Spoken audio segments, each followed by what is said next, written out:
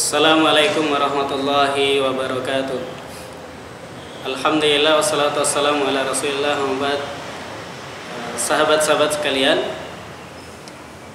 Alhamdulillah kita semua bersyukur kepada Allah subhanahu wa ta'ala Yang telah memberikan banyak nikmat pada kita semuanya. Semoga apa yang Allah karuniakan pada kita bermanfaat untuk kehidupan dunia dan akhirat pada kesempatan kali ini kita akan bahas tentang apa yang dilakukan oleh Rasulullah ketika memasuki bulan Sa'ban yang sudah mendekati Ramadan.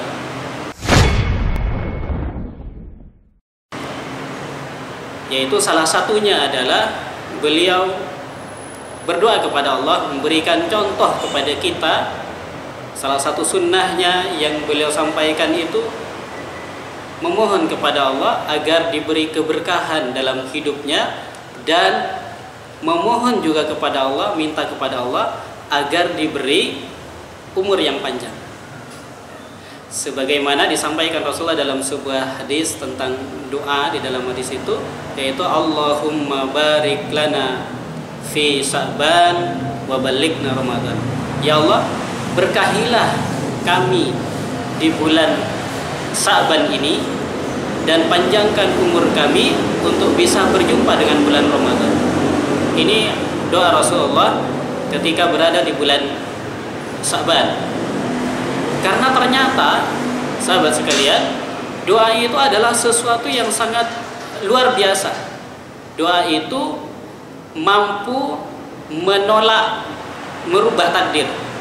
Sebagaimana dalam satu riwayat dari Sauban disampaikan oleh Rasulullah kata beliau innal abda la yahruma rizqa bidan biyusibu sesungguhnya seorang hamba itu terhalang dari rizkinya karena dosa yang dia lakukan. Wa innal qada la yarudduhu illa doa ketentuan Allah takdir Allah itu tidak bisa berubah kecuali dengan berdoa.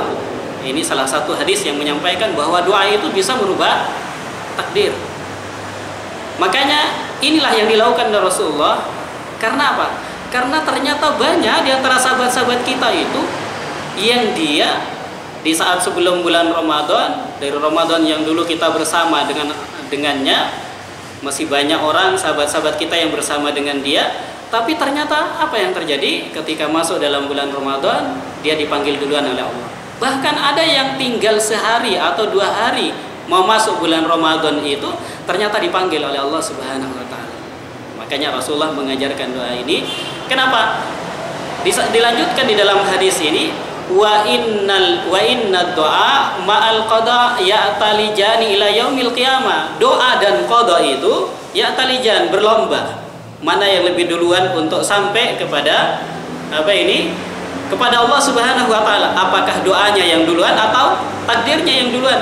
Kalau takdirnya yang duluan sampai kepada Allah ya kalau dia dipanggil sebelum Ramadan ya dia akan dia akan wafat. Tapi kalau doanya yang duluan sampai kepada Allah Subhanahu wa taala maka kemudian diterima doanya dan dipanjangkan umurnya. Nah Kenapa Rasulullah mengajarkan untuk minta dipanjangkan umurnya agar bisa berjumpa dengan bulan Ramadan? Karena apa? Bulan Ramadan adalah bulan yang penuh berkah. Di dalamnya ada rahmat Allah, di dalamnya ada maghfirah Allah dan masih banyak lagi amalan-amalan yang mempunyai makna yang sangat luar biasa di bulan Ramadan itu. Makanya beliau meminta kepada Allah dipanjangkan umurnya bisa berjumpa dengan bulan Ramadan untuk mendapatkan kebaikan yang banyak itu tadi. Sahabat sekalian yang dimuliakan oleh Allah, maka dari itu marilah kita jangan lupa berdoa kepada Allah sebagaimana sunnah yang disampaikan Rasulullah dengan doa Allahumma barik lana fi Sa'ban wa balighna. Ya Allah, berkahilah kami pada bulan Sa'ban ini dan panjangkan umur kami untuk bisa berjumpa dengan bulan Ramadan. Barakallahu fikum. Wassalamualaikum warahmatullahi wabarakatuh.